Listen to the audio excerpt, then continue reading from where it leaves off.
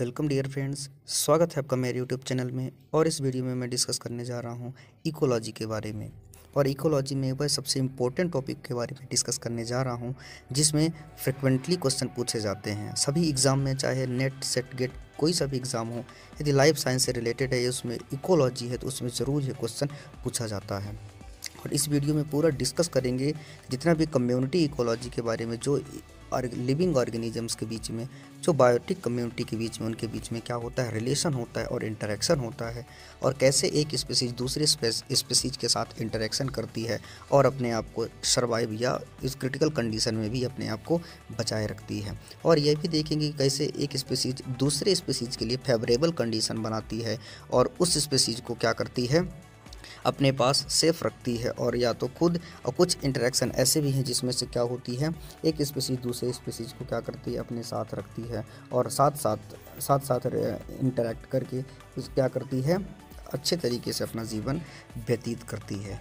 तो देखते हैं कि उसमें सबसे पहले कोई भी ऑर्गेनिजम्स की बात की जाए, सर्वप्रथम क्या आते हैं, कोई भी जो ऑर्गेनिजम्स होंगे ऑर्गेनिजम्स क्या करते हैं ऑर्गेनिजम्स होंगे। ऑर्गेनिजम्स अपनी क्या बनाते हैं? पॉपुलेशन बनाते हैं। और पॉपुलेशन बनाने के बाद क्या करते हैं? पॉपुलेशन बनने के बाद क्या होता है?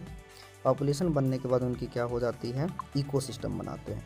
और इकोसिस्टम बनाने के बाद वे फिर क्या बनाते हैं? कम्युनिटी बनाते हैं। तो ये जितने जितने भी प्रकार के इंटरेक्शन पढ़ा जाता है, डियर फ्रेंड्स, स्पेसीज के बारे में, बायोटिक कम्युनिटी के बारे में, वो भी कहाँ पे पढ़ा जाता है?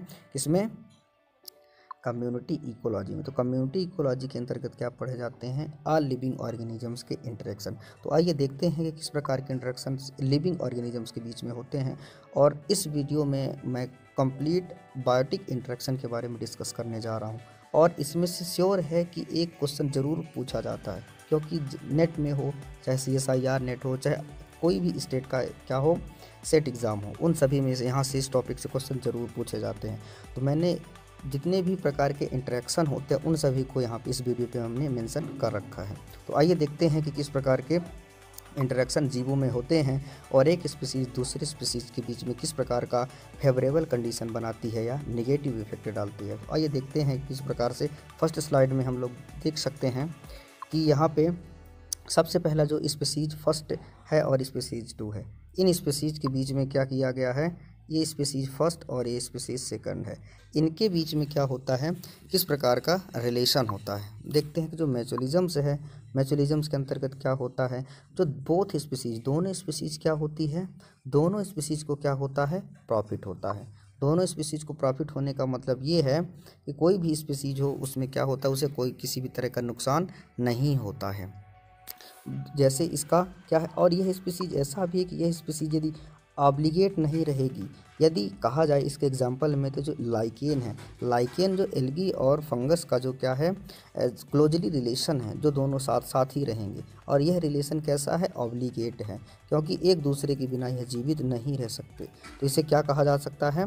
मेचुलिजम्स कहा जाता है, जिसमें दोनों स्पीसीज क्या करती हैं बेनिफिट दोनों स्पीसीज को क्या होता है बेनिफिट्स होता है, उसे हम क्या, किस नाम से जानते हैं? मेचुलिजम्स इसके कुछ एग्ज़ाम्पल हैं, जैसे lichen mycorrhiza ant and acacia का ठीक है?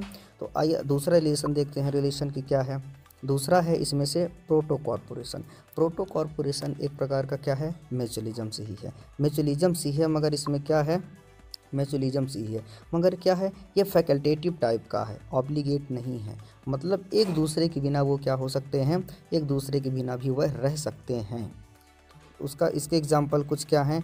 जैसे सिलेंट्रेट्स सिलेंट्रेट्स ये जो हैं, क्या है उसके एग्ज़ाम्पल हैं, और सी एनामॉन अगला देखते हैं कॉमन सेलिज्म कॉमन सेलिज्म में क्या होता है कि जो पहली स्पीसीज होती है, वो दूसरे स्पीसीज के ऊपर कोई भी इफ़ेक्ट नहीं डालती है। इसका एग्ज़ाम्पल है जैसे इपीफाइड प्लांट्स इपीफाइड प्लांट्स का मतलब ये होता है और इकोलाई इपीफाइड से आप ये समझ सकते हैं और कॉमन सेलिज्म का एग्ज़ाम्पल ये हो सकता है आपके लिए।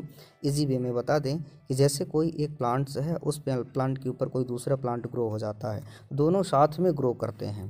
है ना? तो जो बायोटिक कम्युनिटी एक बायोटिक कम्युनिटी के ऊपर या एक प्लांट्स के ऊपर दूसरे प्लांट्स क्या हो कर जाते हैं? ग्रोथ कर जाते हैं, है ना? तो इसमें से किसी को इफ़ेक्ट नहीं होता, दोनों साथ साथ जीवन यापन करते हैं। तो उसको क्या बोला जाता है? कमेंसलिज्म लेकिन ये जो है, इनको, इन तीनों प्रकार के इंट्रैक्शन को, पहला म्यूचुअलिज्म्स दूसरा प्रोटो कॉरपोरेशन तीसरा कॉमन सलीजम इनको किस प्रकार का इंटरेक्शन बोला जाता है? पॉजिटिव इंटरेक्शन अब देखते हैं कि निगेटिव इंटरेक्शन में किस प्रकार की कंडीशन सामने आती है।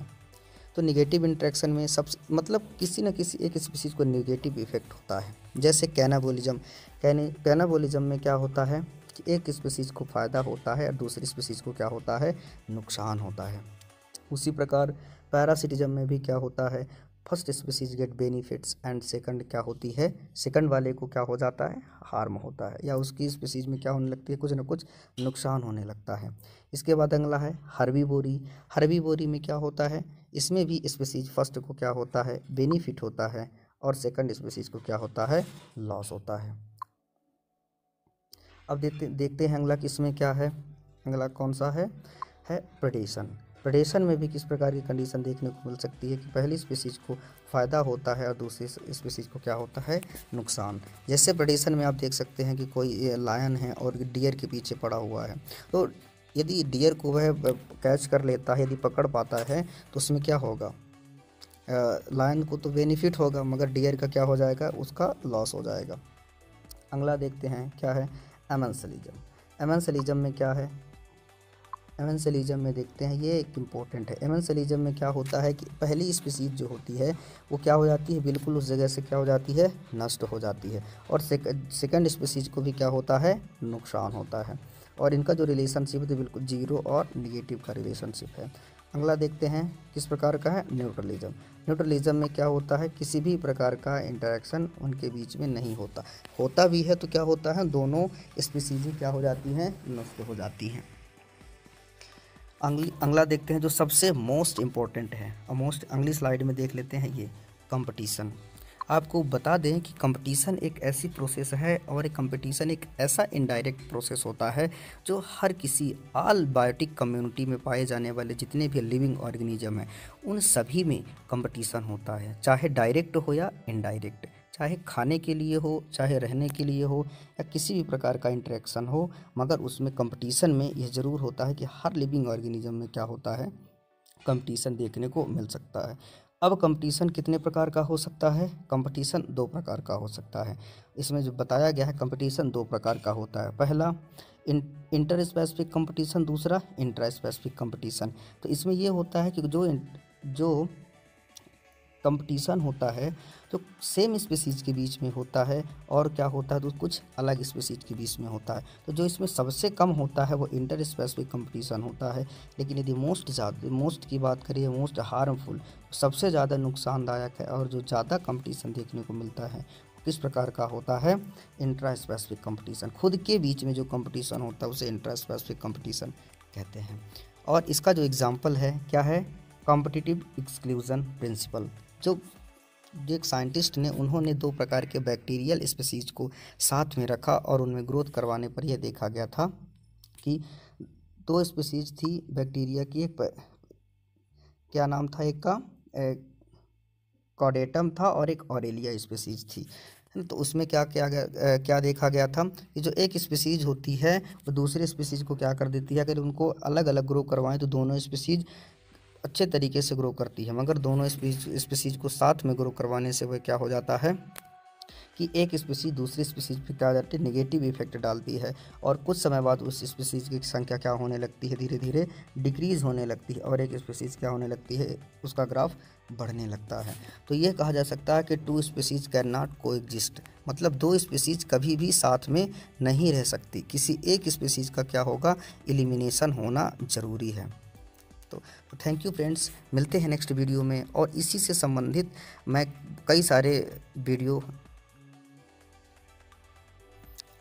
और आपको यह बता दें कि इस टॉपिक से श्योर है कि एक क्वेश्चन ज़रूर पूछा जाएगा। तो यदि आपने मेरे चैनल को सब्सक्राइब नहीं किया है तो सब्सक्राइब कर लें, लाइक कर लें और अपने नीडी फ्रेंड के साथ शेयर कर लें। एम पी सेट से संबंधित जितनी भी इन्फॉर्मेशन है, मैं सब इस वीडियो में अपलोड करता रहता हूँ।